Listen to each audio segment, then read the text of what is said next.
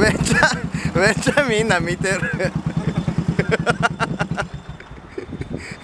おかえりなさいませ安藤さん。